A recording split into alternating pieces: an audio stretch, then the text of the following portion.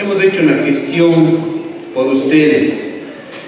Acabamos de, recibir una donación de una máquina excavadora de parte del gobierno nacional.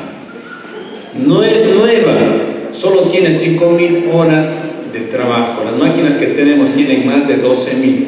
Esta excavadora casi está nueva, nos servirá enormemente para hacer los trabajos de manejo de lo que es los áridos y pétreos, lo que es producir el astre de una mejor manera.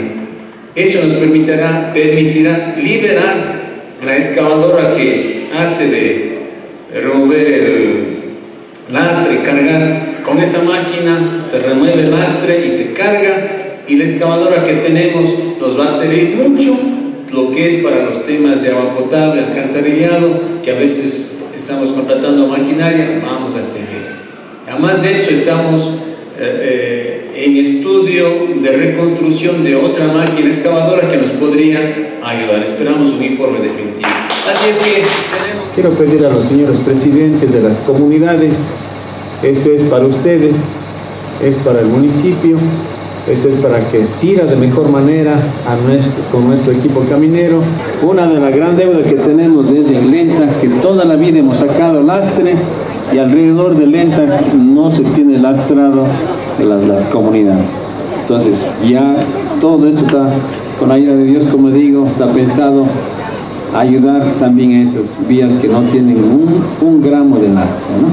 Es una donación a título gratuito, compañeras, compañeros el gobierno nacional a través de ese aporte directo a Girón lo ha hecho realidad. Gracias doctora Liliana por todas sus gestiones, gracias señor alcalde. Hemos realizado esta magnífica gestión del señor alcalde José Miguel Ushka.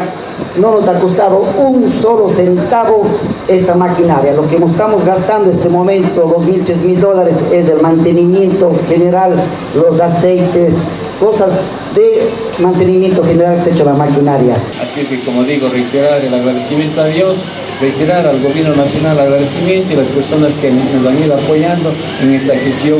Muchas gracias. Queda al servicio de ustedes esta maquinaria. Se incorpora a las máquinas que eh, Obras Públicas tiene dentro de la municipalidad.